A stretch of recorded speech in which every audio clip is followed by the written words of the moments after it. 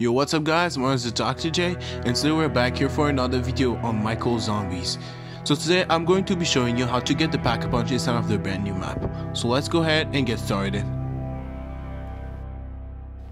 Alright guys, so when you're spawning the map, uh, make sure to build the power and uh, have a lot of points because uh, the Pack-a-Punch will require a lot of points.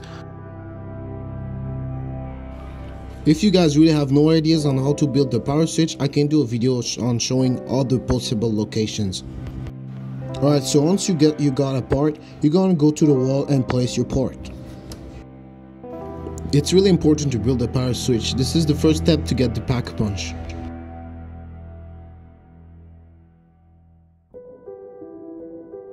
Alright, so here's the next part for the power switch. Just like the first part, we're placing it on the wall. Okay, so here we should find the last part. And it's right over here. There we go. Let's pick it up and place it. There you go. Turn on the power and let's go. So I've farmed up about 4,000 points and let's hit the box. And in the mystery box, you're gonna need to get either the ray gun or the Panzer Shredder. Okay, so we finally got the ray gun and then what you're gonna do is to go upstairs and you're gonna shoot this wall. Alright guys so after shooting this wall this is gonna unlock you a secret area with mule kick and the soul box. Now the soul box is really important because this will activate the uh, step for the pack punch. So you're gonna have to collect 150 souls over here make sure you're close enough to the soul box because if you're too far away from the soul box the souls won't count. Alright so we are a few souls away from filling the soul box.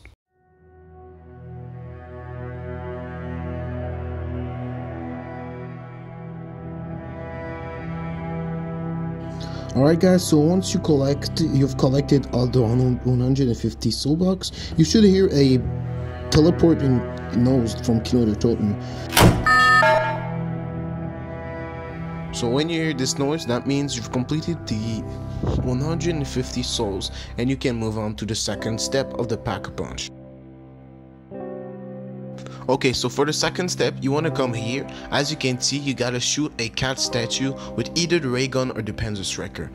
As you can see, I'm gonna zoom in. Here's the cat statue, and I'm gonna shoot it with the ray gun. Then you should see um, a truck. It's gonna deliver the pack a punch to the teleporting port. And now what you're gonna do is go to the teleporting pad and you're gonna teleport the pack a punch. Alright guys, just like that, we have now unlocked the pack a punch. You can enjoy and pack a punch your weapons. Alright guys, so that's basically it for this this video, this tutorial on how to get the pack a punch. Hopefully you, you liked it. I because I, I, I spent like two hours on getting a perfect clip because I kept dying.